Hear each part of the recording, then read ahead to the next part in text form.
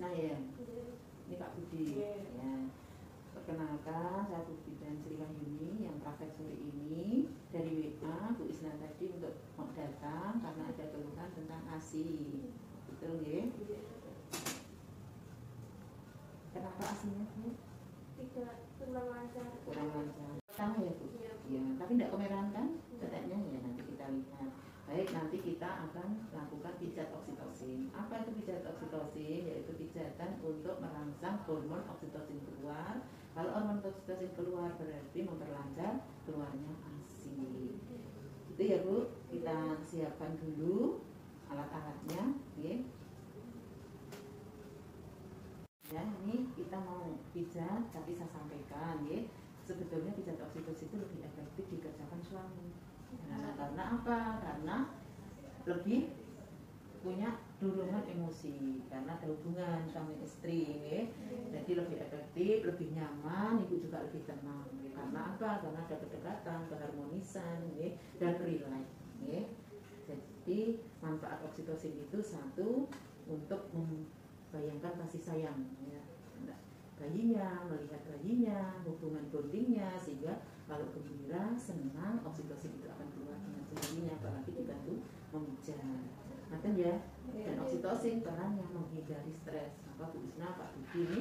Pasangan yang harus Hmm, nanti kan nantinya juga malam juga pagi juga siang dia harus gembira itu ya ya bisa. Cuci tangan dulu.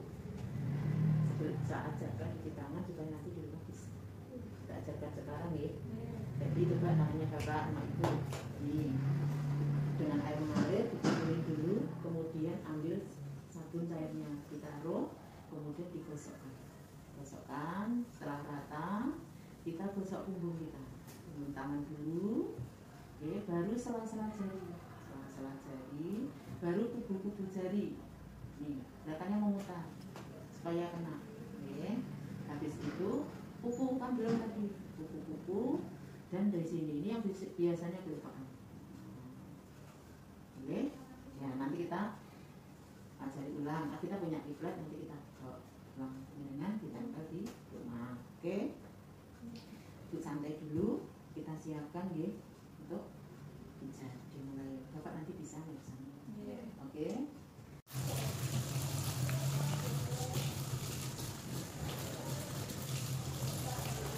Dua, tiga, empat, lima, enam,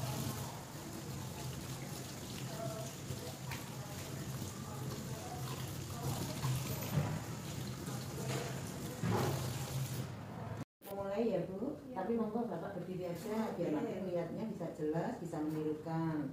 Ibunya duduk yang tenang ya kemudian kita lepas bajunya kan sudah tertutup ya. Nah, bapak kan udah biasa ya bu lihat bentuknya. Kemudian dilepas bajunya dan BH nya jadi nanti menggantung. Ininya mamenya ya monggo tangan ibu ditaruh di depan. Seperti yang relax menunduk menunduk sedikit. Oke kemudian jempol diolesin minyak baby oil jempolnya ya bu. Karena nanti yang dibutuhkan untuk apa? Mijat adalah jempol. Biar tidak kering di eh, ketemu kulit. Jadi ya.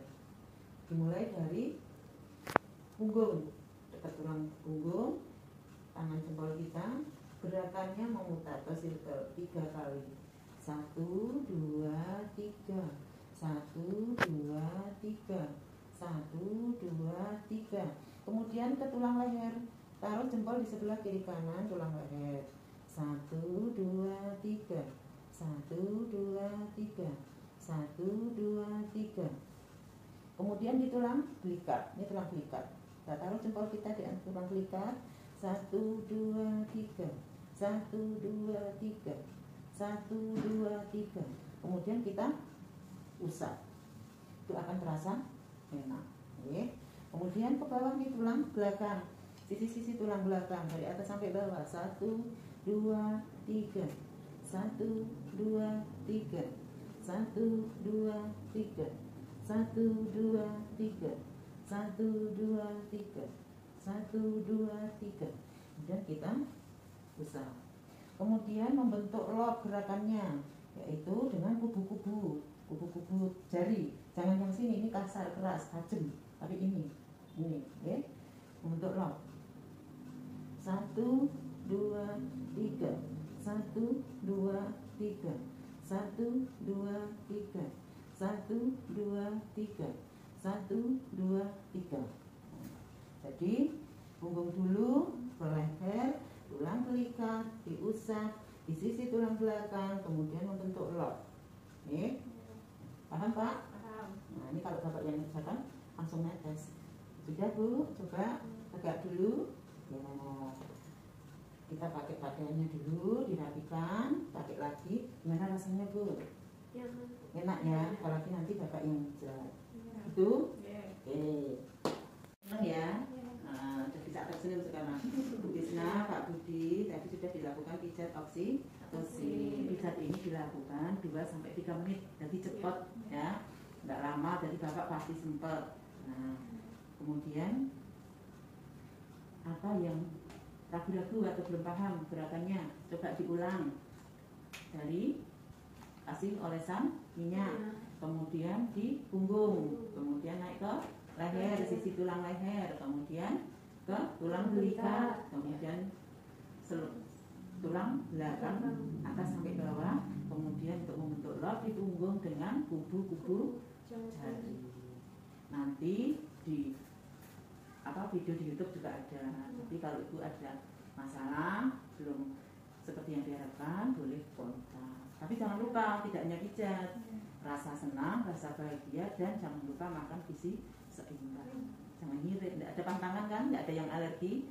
Ya, ibu menyusui harus banyak makan bergizi. Gitu. Ya. Kalau tidak ada masalah tidak perlu kontrol. Kalau ada masalah dalam menetei, mungkin yang lain silahkan menghubungi atau rawat ke sini lagi. Gitu ya Bu.